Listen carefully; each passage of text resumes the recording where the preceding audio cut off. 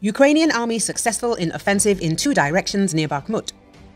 The Ukrainian forces are conducting offensive operations north and south of Bakhmut and are successful in two directions.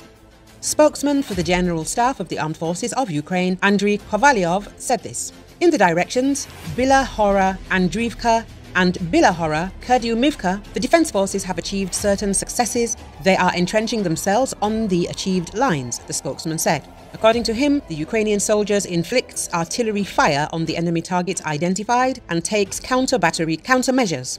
The enemy is putting up strong resistance, moving units and troops, using reserves. At present, Russia is continuing to focus its main efforts on the Kupiansk, Lyman, Bakhmut, Avdiivka and Marinka fronts, where heavy fighting continues. According to the NBC channel, Ukraine has not yet sent all its forces to counter-attack. The conflict may continue for many months.